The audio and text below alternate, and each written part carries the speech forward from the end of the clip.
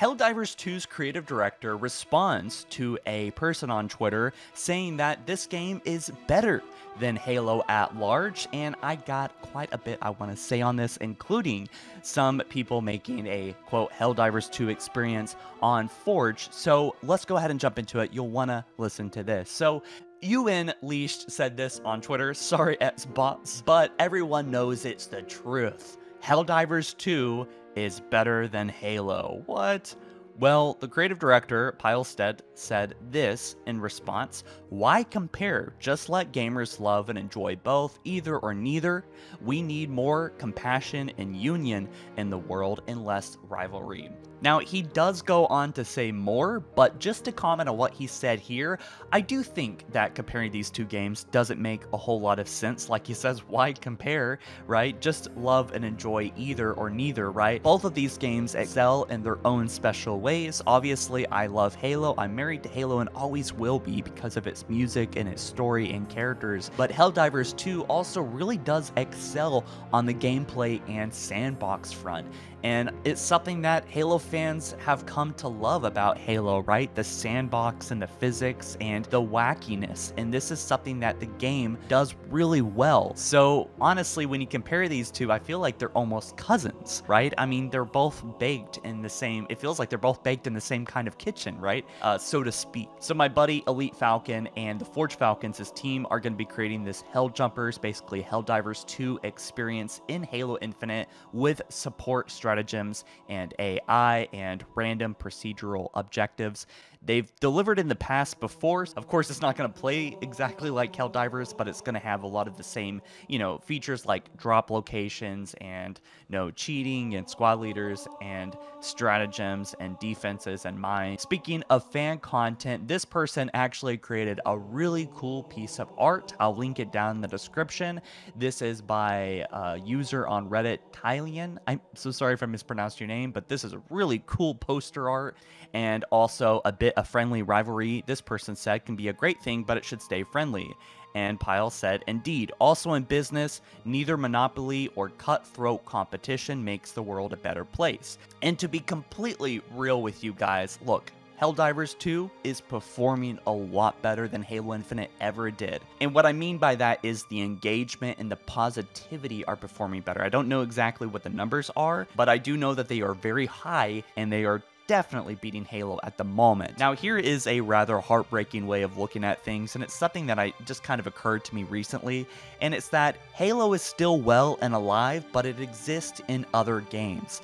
It's somewhat like metaphorically the spirit has left Halo and has gone into other games like Helldivers. And this is frustrating because obviously I want Halo to have good games. I love the characters, the weapons, the music, and the story, and all of these great things. And so it's frustrating to see that where it's really doing well is not even in Halo itself. Like these elements that might not necessarily even belong to Halo still exist out there. It's just not in the form that we really want it. If they announce Halo 7 tomorrow, who knows how how many Halo fans would wake up and be excited and if it was like a new studio too that would be even better because well that's a whole other thing is 343's name is kind of tarnished. But getting back to this, I think Helldivers 2 could be a really good game for a mod, like a Halo mod. It would also be really great for collabs. And there's been some, like, quote, clickbait, I guess, of people saying that the Warthog was coming to Helldivers 2 or appearing in Helldivers 2. But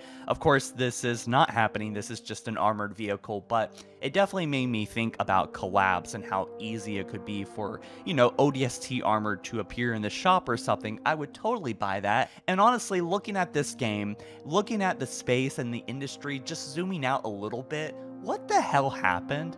I mean, we had triple A games like Halo 3 and Modern Warfare 2, and those were like the two titans fighting each other and stuff, but we had tons of other triple A games, and now they're all garbage. I mean, they're even calling it quadruple triple A or whatever, and it's so annoying because they're all garbage. We have indie games by Arrowhead here that are performing better than behemoths like Call of Duty and new Ubisoft releases and Halo releases, right? It is battling with the titans themselves, and so if the AAA space Or whatever, the golden tier of companies cannot get their shit together, including 343 Industries, I feel like they will die. There are no rules anymore when it comes to the Titans and AAA games. It is whoever makes the AAA games, regardless of the studio, regardless of the branding. And I can see this myself here. You know, why am I still talking about Halo, I wonder sometimes? Because clearly there is a lot of better games out there at the moment that are performing better. Now,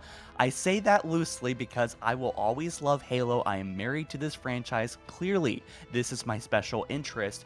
It's just frustrating to people that have been staying so loyal to the series for so long, like you and me, Mike, likely if you're watching this, and to see it continue to get trampled by indie studios. It's like the more money these corporations have, the more established they are, the less able they are to do the most baseline function, which is to create a fun video game at launch, right? They depend entirely on the stock market. That's why I feel like any company that is public is not really going to create any good games anymore. That's why, like, honestly, Microsoft is not going to really produce good Halo games anymore unless something fundamental changes, unless we get lucky with some really good leadership, like if Phil Spencer takes priority or something, it's just it's just so often about the bottom line and investors. And I think that's the problem, honestly, with a lot of these corporations and and why Helldivers 2 is performing so well. And so I'm really glad that the creative director took the high road here. Clearly, I mean, they must know that a lot of what they've done here was an inspiration to Halo. I mean, it's very clearly similar. But that's not to say that this game copied Halo. And I've been having a blast with this game. I like to pretend sometimes, as stupid as it is, it is a Halo game and that the bugs are the flood or something like that. I'm such a freaking nerd for Halo. But look, I think that Halo has a lot to learn. Microsoft, unfortunately, is very reactionary. And so when they see a game like Halo Online, Abandonware being turned into a functioning PC game that people are starting to go into in droves, then that's when they fix MCC and put the games on PC, which we've been begging for way before that happened.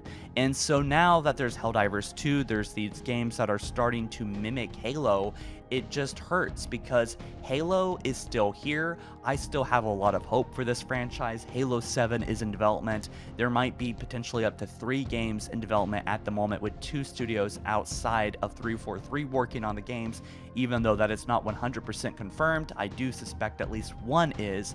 I still have a lot of hope for this franchise. It's just sad to see that the spirit of Halo is starting to leave its body of, of, uh, in, a, in, a, in a metaphorical sense that Halo is kind of transitioned into other sci-fi series in a way. And it pisses me off because Halo has iconic characters, iconic gameplay, iconic weapons, iconic music, man.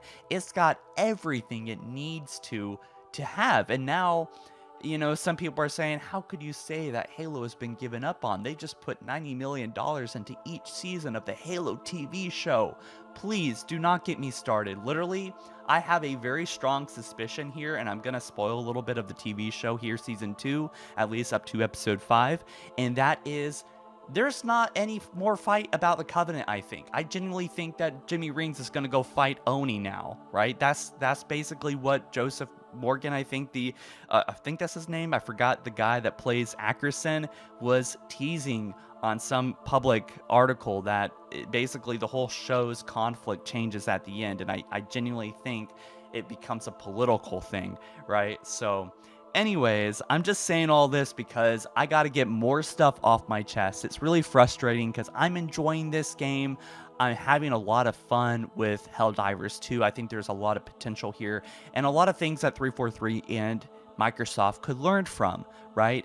They are not going to be able to create a game that people enjoy as long as they worry about the money because this comes from a much more genuine place, including real microtransactions, the return of genuine microtransactions, buying armor, buying helmets under two, three dollars.